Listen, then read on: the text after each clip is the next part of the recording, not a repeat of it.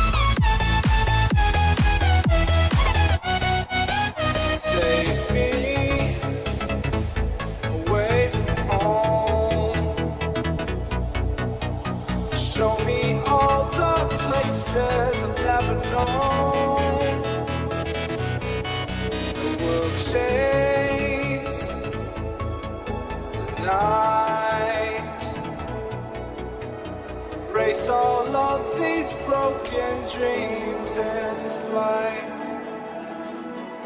and we'll fly.